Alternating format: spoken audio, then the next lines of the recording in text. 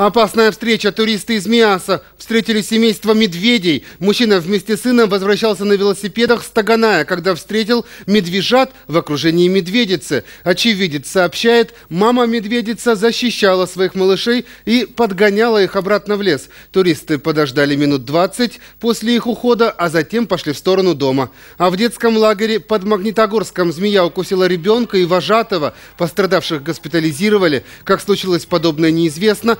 Сказано ли, что их состояние удовлетворительное, угрозы жизни и здоровью нет. Мальчик находится в стационаре, а воспитатель уже вышел на работу.